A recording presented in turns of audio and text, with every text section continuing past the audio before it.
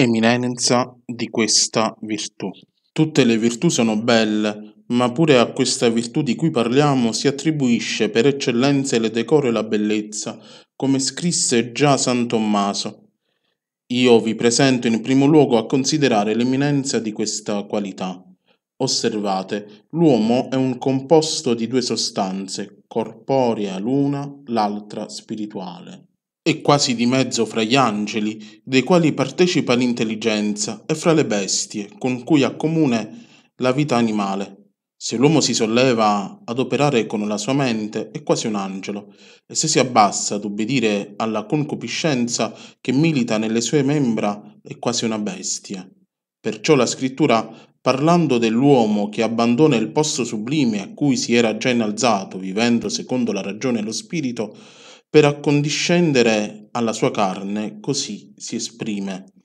L'uomo non riconobbe lo stato di onore in cui egli era, fu posto al confronto con i giumenti insensati e divenne quasi uno di loro.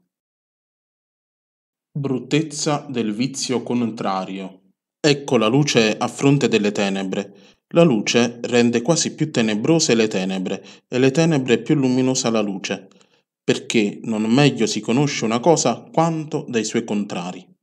Infatti non mai si capirà meglio, né con maggiore evidenza, la bella disposizione delle parti del corpo umano, che dopo averne con ipotesi capricciose sconvolto l'ordine e rovesciata la simmetria, se un uomo ponesse il capo sotto i piedi e i piedi innestasse sul collo, che orrido mostro, che deforme spettacolo sarebbe mai questo a vedere? L'uomo dissoluto eseguisce ciò appunto e tanto ancor peggio, non già in immaginazione ma in verità, poiché egli toglie la ragione da quel luogo superiore ove Dio l'aveva collocata a reggere e a dominare, e la caccia sotto i piedi facendola servire alle passioni. Queste poi, che sono nate a ricevere legge e freno, le sostituisce in luogo di capo, a signoreggiare e prevalere.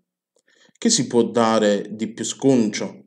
E queste sono le deformità che cadendo sotto gli occhi a tutte le ore si attirano le risa, gli scherni, le beffe del volgo ignorante e cagionano nei più sensati nausea, orrore, dispetto. Se si incontrassero in uno specchio giusto e veridico certi uomini e certe donne che fanno oggetto di pompa la loro confusione e di gloria le loro ignominie, son ben io che stupirebbero a riconoscere la mostruosa loro comparsa e si cangerebbe in oggetto di alta abominazione il motivo dei loro folli vaneggiamenti e deliri.